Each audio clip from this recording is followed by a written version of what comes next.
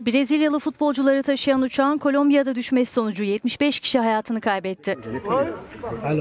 Güney Amerika Kupası final karşılaşmaları için Kolombiya'ya gitmekte olan Brezilya 1. Ligi takımlarından Chapecoense'in oyuncularının aralarında bulunduğu 72 yolcu ve 9 mürettebatı taşıyan uçak Medellin kenti yakınlarında düştü. Kazanın nedeni henüz bilinmiyor ancak ilk bulgular uçakta elektrik arızası yaşanmış olabileceğini gösteriyor. Bu tür soruşturmalarda diğer olası nedenleri de göz ardı edemeyiz. Sağ kurtulanların ifadeleri de diğer unsurlar gibi değerli olacak. Ancak kazayla ilgili bir soruşturma yürüteceğiz.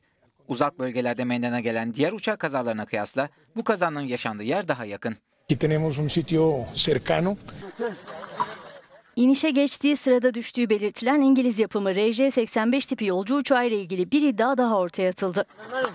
Bolivya'dan kalkan uçağın yakıt sıkıntısı nedeniyle düşmüş olabileceği öne sürülüyor.